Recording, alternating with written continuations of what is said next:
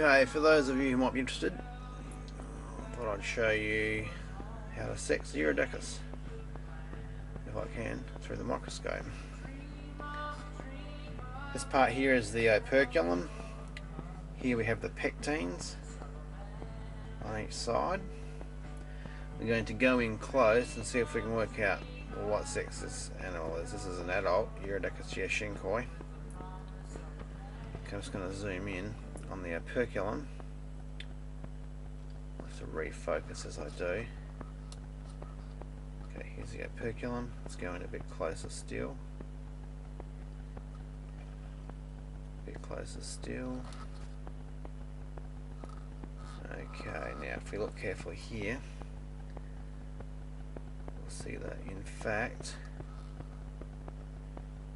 the operculum is split through the middle if you look very carefully at the bottom here, right here, you see a little projection, little finger-like projection, that's a genital papillae, which means it's a male, and the fact that the operculum is split. So if we lift up the operculum,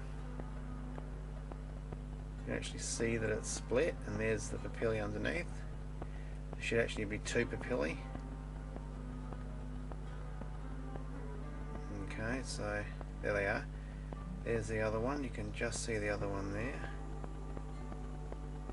There's one papillae, and trying to get these things.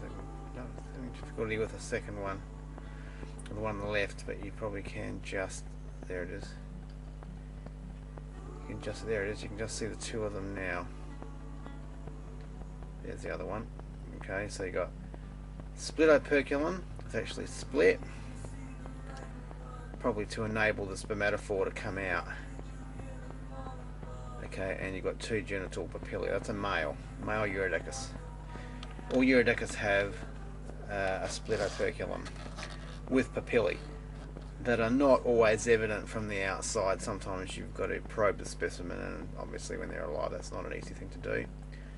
But um, often they'll just stick out like that. You can just see them projecting. Okay, well that should give you some idea of how to tell a Urodacus uh, male. If you have access to something like a magnifying glass or a microscope, you should be able to tell. Uh, usually adults and pre-adult instars will show the um, genital papillae.